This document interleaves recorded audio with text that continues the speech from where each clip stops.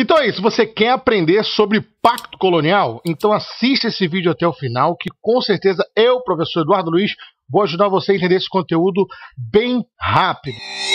Olha, a primeira coisa que nós temos que ficar atento, que você precisa de ficar atento, é com o nome, né? Na prova, nem sempre, ou na prova, ou seu professor, ou no edital, nem sempre vai aparecer esse nomezinho Pacto Colonial.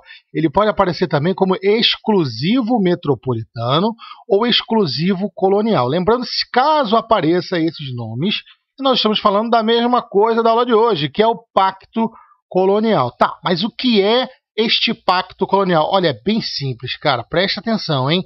Pacto colonial nada mais é que um conjunto de regras e acordos.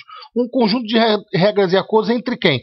Entre a metrópole e suas colônias. Quando eu estou falando de metrópole, eu estou falando aqui, ó, ó, de Espanha, eu estou falando de Portugal, estou falando de Inglaterra, França, aqueles países que após o século XVI iniciaram o seu processo de expansão marítima, que foram buscar colônia é, além mar, ok? Então, lembre sempre disso. Falei de metrópole, estou falando desses países que iniciaram o processo de expansão marítima a partir do século XVI. Tá, mas qual era o objetivo desse pacto, desse, desse conjunto de regras? É bem simples, olha, o objetivo era exclusividade dos lucros. Esses lucros iriam para quem? Para a metrópole? Para a colônia? É óbvio que eram para as metrópoles. Então, Resumindo, o Pacto Colonial é um conjunto de regras e acordos que favorece o lucro da metrópole, ou seja, que favorece a exploração da metrópole com as colônias. Ok? Então vamos entender um pouquinho melhor, que eu separei um quadro aqui para a gente entender como funciona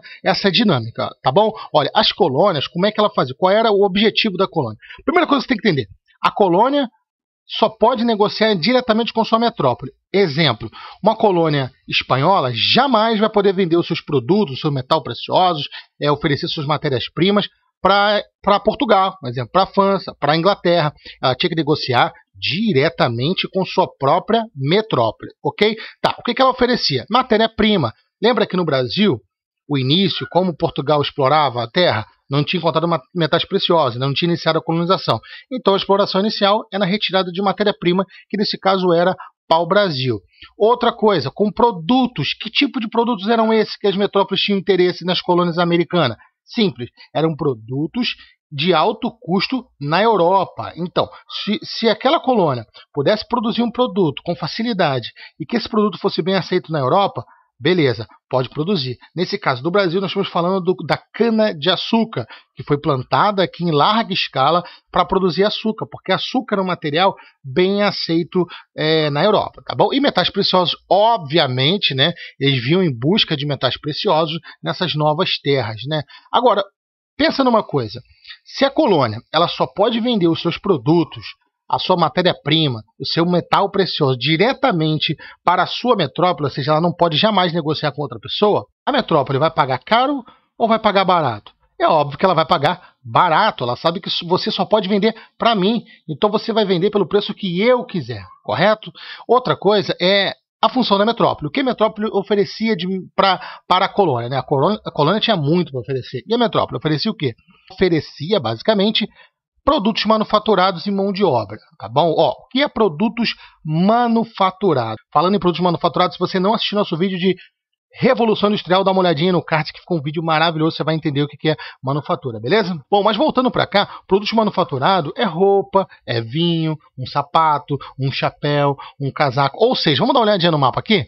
Se você imagina que você é um colono aqui da América Portuguesa, né? Aqui, olha, aqui depois da Taça de Tordesilha, essa região em vermelho seria o Brasil no futuro, né? Você é um colono, precisa de comprar uma roupa. Você vai comprar uma roupa produzida aqui no Brasil? Não, não, não, não tinha, não existia. Era proibido a criação de manufatura. Então você tinha que pegar produtos exportados diretamente de comerciantes portugueses, entendeu? Outra coisa importante, como já falamos, é a mão de obra. Você sabe qual era a mão de obra utilizada no século XVI nas colônias? Infelizmente, era a mão de obra escrava, gente. Era a mão de obra escrava. Ou seja, vamos lá voltar aqui ao nosso exemplo.